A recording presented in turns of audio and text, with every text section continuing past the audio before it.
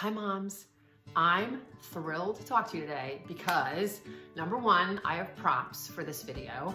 And number two, I already have a title. This one's gonna be called Walk a Mile in My Shoes. I need to give you a little backstory so that you'll understand the shoe analogy and then we'll get into why I'm telling you that. A little spoiler alert, it's speaking to those parents who say, I have tried every diet and I don't see any evidence of healing. So I'm not sure why trying this now would work. So my first prop is my sneaker. I know it's yucky and grungy and whatever. I do have a newer pair, but I just like these the best. So it works for my video.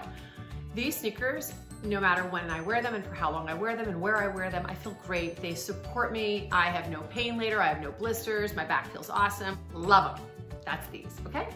Then I have a pair of shoes. They're a little, these are also a little dirty, but they were perfect for this video. I have a newer, cleaner pair, but the heel was too tall. So we're gonna use this one. I just don't want you to think that I only wear grungy shoes. And I like to wear these with a pair of jeans. We're gonna run out to dinner, something like that. I just wanna look fun and I don't wanna be just like, wearing this. Now, these cause me absolutely no problem. I can wear them for a really long time and all is well, great. Then there's these, hello, super fun. Um, definitely a higher heel, like hardly any support, but super sexy. And I really like to wear these shoes. I will definitely feel this in my back the next day. I kind of wobble out of the car just to walk into the restaurant, but you know what? I don't care because I wanna look good. So those are the three shoes. Now, here's why I tell you this. When my husband and I will go away for a weekend and we go into Manhattan, we live in Jersey, so it's not that far, and we just have the older kids, watch the younger kids. It's a wonderful little weekend away. Maybe we catch a show at least when they used to still have shows before this pandemic. But maybe we would catch a show, we'd go to dinner. Mostly what we do is literally we kind of walk from coffee shop to coffee shop, you know, a little diner to a little place to eat lunch. To, we're just basically walking, eating, drinking coffee, and we love a good Barnes & Noble. We'll do that. And then later in the day, we will go back to the hotel and then get ready and go maybe have dinner and then hit a show. And so that's when that weekend, my husband will tell me, he'll always remind me, please do not wear shoes that are gonna hurt, because he knows that I will be complaining. And I always say to him, ah, I'm fine, it's fine, I'm gonna be fine. And invariably, I decide to wear these during the day on like the Saturday, because these feel fine. But these really don't feel fine after several hours. Now, when it's later in the day and we're gonna go out to dinner, I may already be asking, are we taking an Uber? And he knows this because my feet are already hurting. And he's like, no, and I told you not to wear those. He's so mean to me. But he's like, well then don't wear these, wear the other ones or something. And I'm like, ew, of course I'm wearing these. This is the outfit. So I'll wear them and literally just like walking out of the hotel room to get onto the elevator, I'm hobbling. By the next day, I can't even wear these. I can't even wear these. And I then am wearing these for at least a week. No joke, because my back will wanna like go out because I just was wearing heels for too long. Fine, you got my shoe analogy, right? Okay, so now let me talk to you about your kids and how I want to explain what's going on with them. So your children have very compromised systems. Your children are kind of like how I would be after a day already walking in these shoes. So you give me this for half a second and I am showing the pain. When parents typically call me and have me coach them. One of the first things they will tell me is that, well, their child has even been tested. They don't have gluten sensitivities or dairy sensitivities, or they don't really have problems with sugars and things like that. But they often have a bunch of acronyms after their names, or they have a lot of behaviors.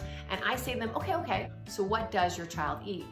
And they will describe to me a lot of this, a lot of this, some of this, this would be your fruits, vegetables, real food, no triggers, okay? And then there's some of this. There's a good amount of this.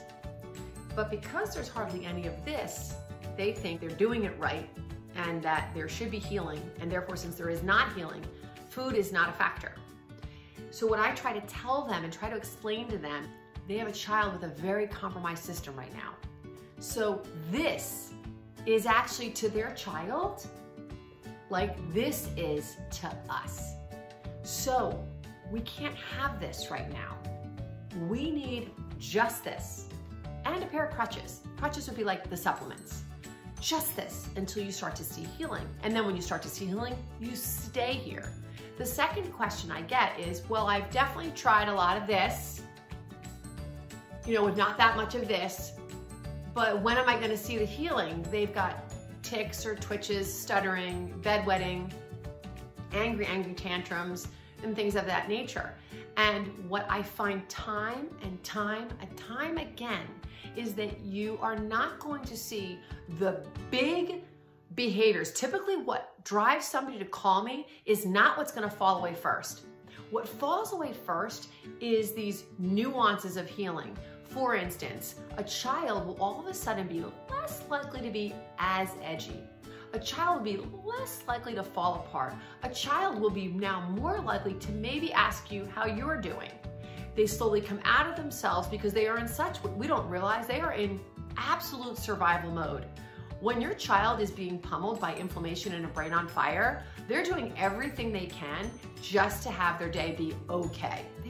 The wherewithal to say, oh mom, how's your day going? Or when they fall apart, be like, I'm really sorry that that happened. And some kids actually will, at some point in the day, come back to mom totally crying and feeling remorseful. But they'll then do it again the next day, or they'll do it later that night and they'll fall apart again, or they'll fall apart in the morning, whatever it is, as that those toxins cycle back out of them, they're gonna show their behaviors. So what we're trying to do is just use this. Why? Because when we just do this, the body now has freed itself up. It has a lot of energy because it's not wasting its time trying to digest this kind of food and it's just digesting very simple food. So now it's got all this energy. So what can it do with the extra energy? It can go right into the cells and it can start eliminating the substances that that cell carries that its body sees as being toxic. Listen, it could be heavy metals. It could be the chlorine from pools. It could be medicines your child has taken. It could be yeast. It could be bad bacteria. There's so many things that cause inflammation. What we want is to have a really clean, lean working machine so that your body has the strength to be able to bring itself back into balance. Then we can add supplements, right? We, we help with those deficiencies.